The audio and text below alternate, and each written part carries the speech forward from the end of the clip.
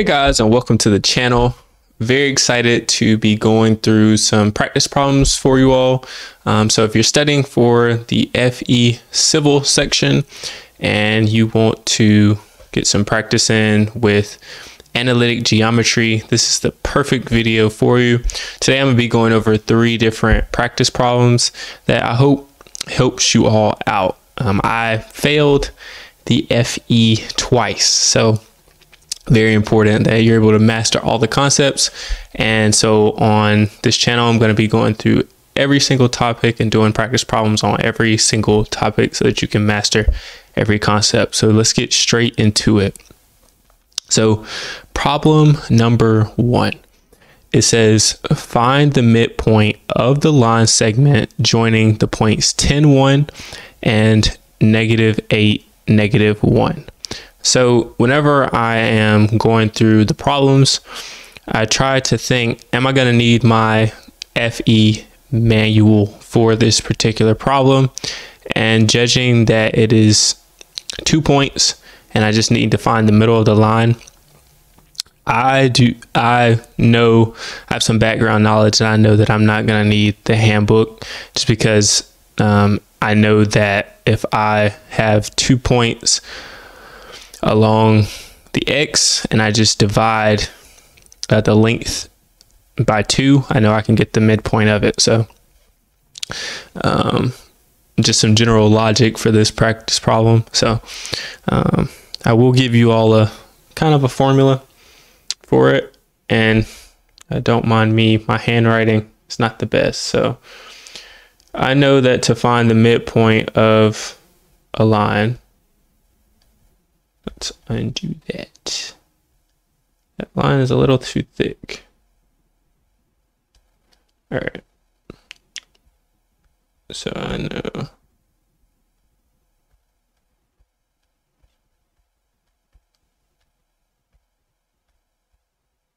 So I know that my x1 plus my x2 value divided by 2 is going to give me the midpoint of my x value. And I know that vice versa.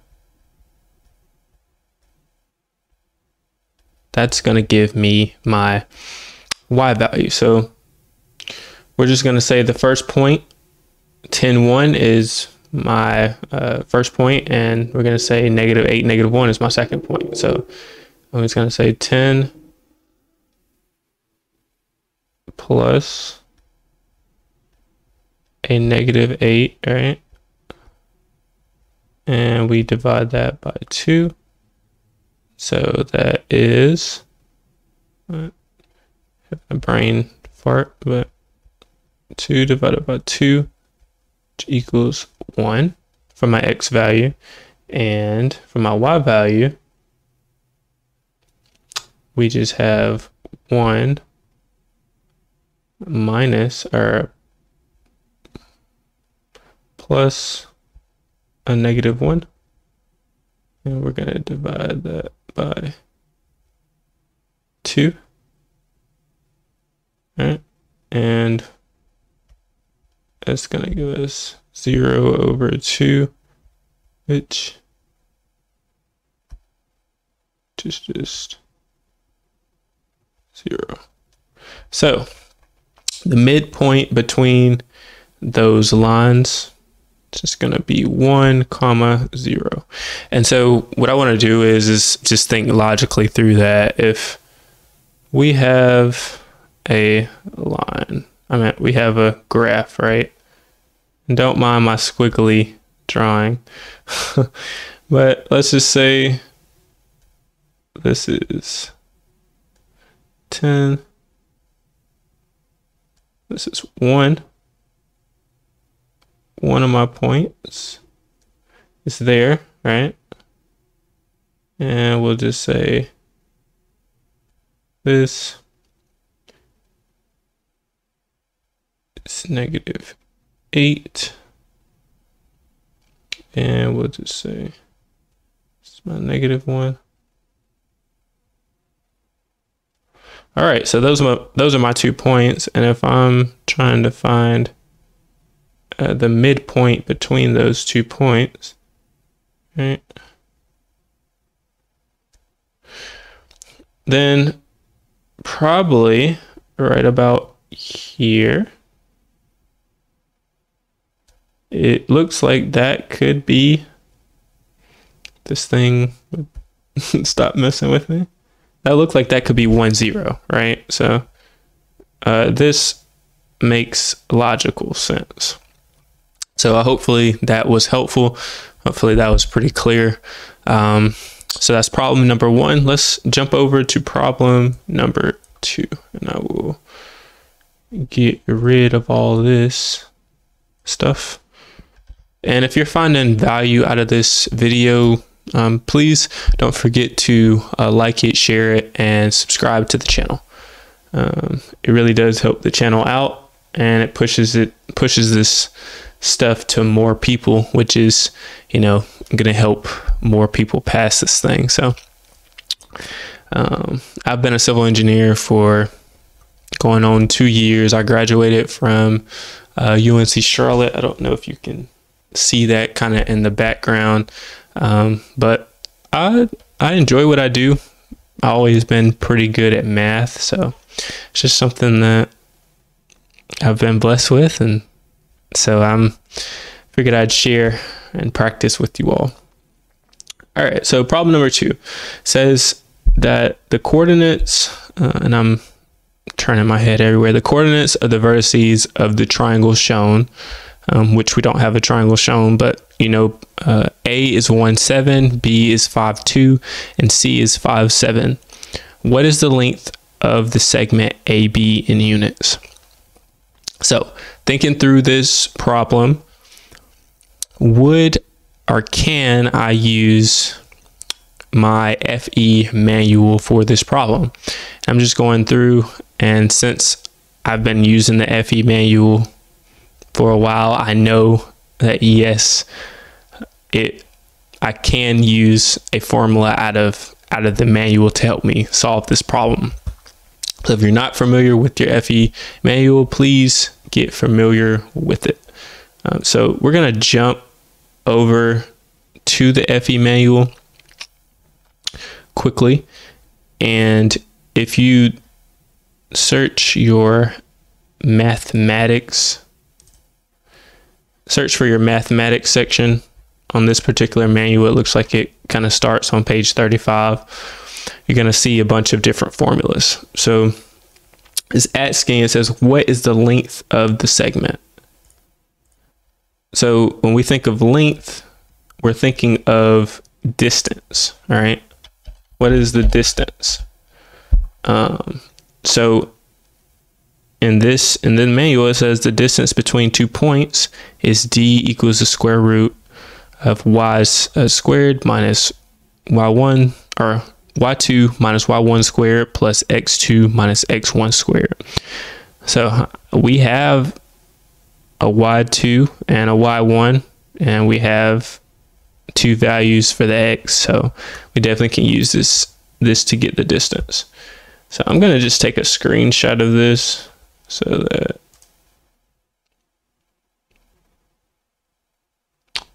you all can see it and you don't have to look at my obnoxious handwriting, right?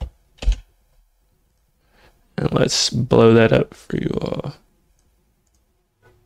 Cool. Looks pretty good. Hopefully you can see that. Let's go back to the draw. All right. So let's put this formula into action, all right? So I'm going to say A, I'm just going to say A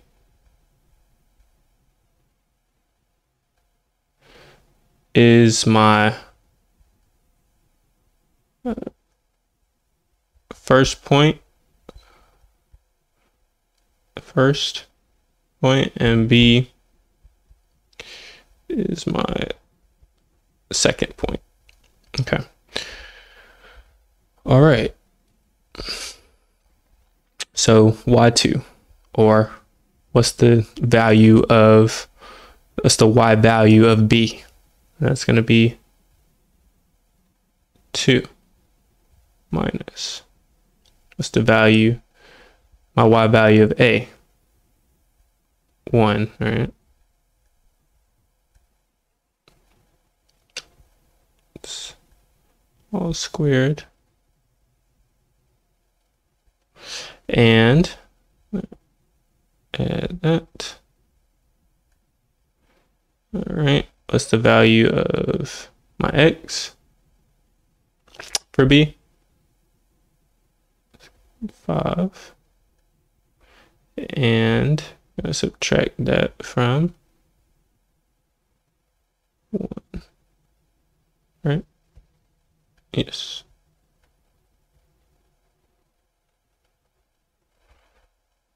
Uh, did I do that right? No, I did not. I'm sorry. Looking at A and B. So it should be uh, 2 minus 7. And let's just, uh, not doing that. Delete.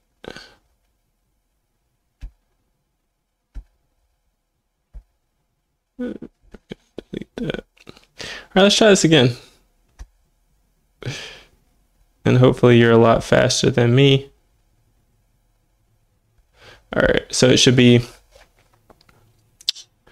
uh, 2 minus 7 plus, and then you got 5 minus 1. All right, so this equals negative 5 squared plus 4 squared. Take the square root of all that. It's going to give you 25 plus 16. And then that's um, the square root of 41, looks like.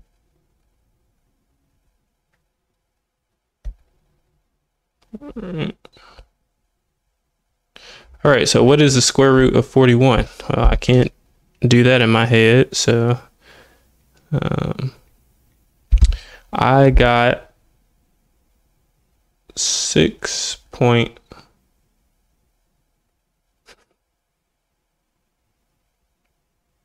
good grief. I don't think this thing wants me to be great today. I select this and delete all that. All right, let's try this again. All right, so the square root of 41, I got six point four zero basically. Um, so that is the distance between our segment AB. So hopefully this made sense. Um, I apologize for the handwriting, um, but you saw that we were able to just pull the formula from our FE handbook, and this is what we want to do. We just want to um, use our FE handbook to our advantage if we know that we can um, solve this. And also, if you all have questions, please be sure to leave them down in uh, the comment section because, you know, if there's something that's unclear, I want to be able to go through it. All right, and this is problem number three. So hopefully you stuck around uh, to this to this point. Um, so I'm gonna get right into it. So a line with equation y equals mx plus b passes through the points p1, which is negative 2, 2, and p2, which is 2 comma 0. So what are the values of m and b? So if you have been doing math for a while, and I'm assuming that you have, you know that y equals mx plus b is a clear formula where m is the slope. So, being that if if we can find the slope, which is m, between the two points, it seems as if we could find b as well. So, what is the formula for Um, what's our what's the formula for slope? All right.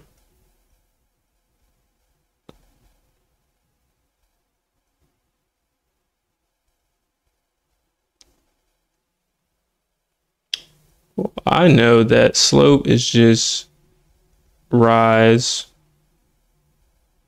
My pen does not want me to be great today. But you know what? This is my first time doing this exercise, so in the 70 other videos that I'll be making, I'm sure it'll be, or hopefully it's a lot better than this. Right.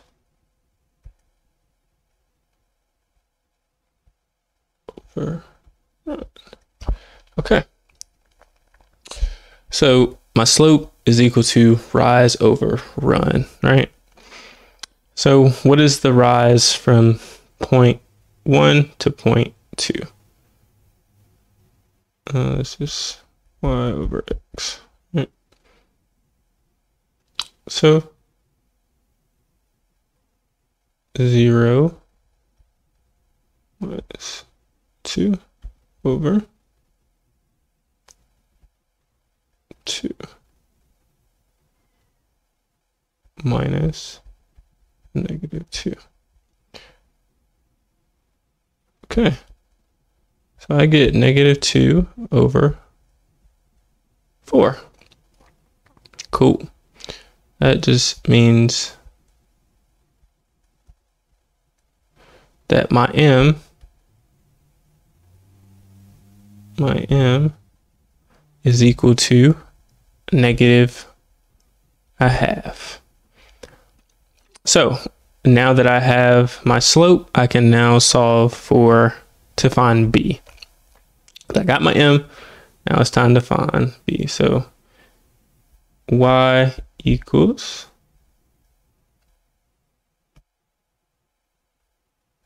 my y equals I know this is negative a half, right?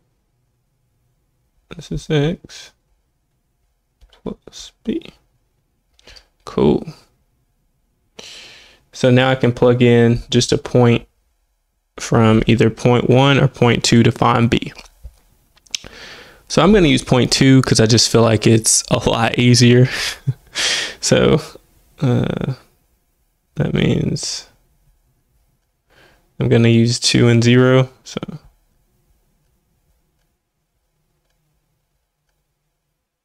times, what's my x value?